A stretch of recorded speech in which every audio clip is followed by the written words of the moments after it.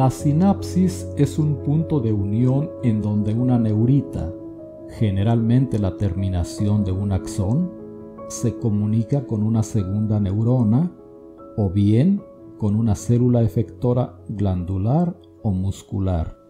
Se calcula que el número de sinapsis en el sistema nervioso humano es de 10 elevado a 15, pues es común que una sola neurona intervenga en cientos o miles de sinapsis.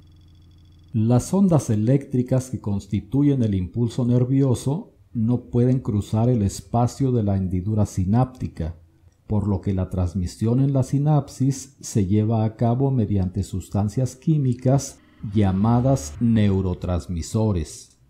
Existen diferentes tipos de sinapsis según la estructura en la que se produce el contacto.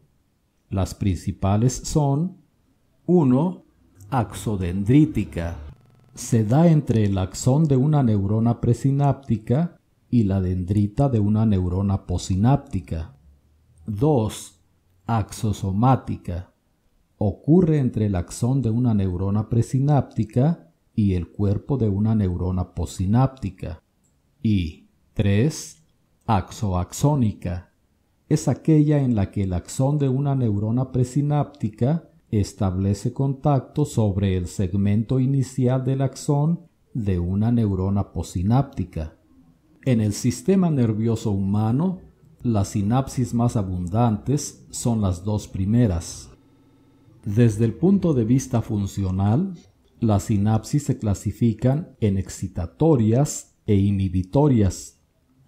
En las sinapsis excitatorias, la membrana posináptica reacciona ante el neurotransmisor disminuyendo su potencial de reposo, por lo que se reduce la negatividad interna y aumenta la excitabilidad.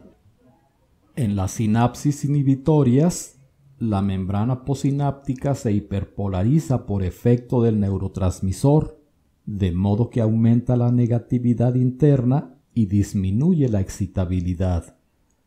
De acuerdo con su mecanismo de acción, las sinapsis pueden ser de tipo químico o eléctrico.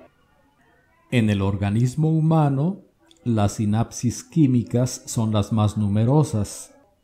En este tipo, en la proximidad de la sinapsis, la célula presináptica produce sustancias químicas específicas llamadas neurotransmisores. Cuando la membrana axónica de los botones sinápticos se despolariza por la llegada de un impulso nervioso, los neurotransmisores se vacían en la hendidura sináptica y se fijan a una molécula de proteína en la membrana posináptica denominada receptor la secuencia de eventos que ocurren durante la sinapsis es la siguiente. 1. El impulso nervioso se desplaza a lo largo del axón de la neurona presináptica y al llegar al extremo axónico despolariza la membrana. 2. Esta despolarización da lugar a una entrada de iones de calcio, lo cual origina que las vesículas sinápticas que contienen al neurotransmisor se fusionen con la membrana presináptica. 3. Las modificaciones en las vesículas sinápticas conducen a la liberación del neurotransmisor hacia el líquido extracelular de la hendidura sináptica. 4. Una vez en el espacio sináptico, el neurotransmisor se difunde hasta la membrana posináptica. 5. Al llegar a la membrana posináptica, el neurotransmisor es captado por los receptores específicos. Esto hace que la membrana se despolarice o hiperpolarice, generando así potenciales posinápticos. Y 6. Una vez que está en el espacio sináptico y alcanza la membrana posináptica, el neurotransmisor es eliminado mediante dos mecanismos, recaptación e inactivación enzimática. En la recaptación, el botón terminal de la neurona presináptica absorbe al neurotransmisor por medio de moléculas de transporte especiales. Este proceso es el más común. En la inactivación enzimática, el neurotransmisor es destruido por acción de una enzima. En las sinapsis eléctricas no hay neurotransmisores químicos, sino que las neuronas se comunican eléctricamente.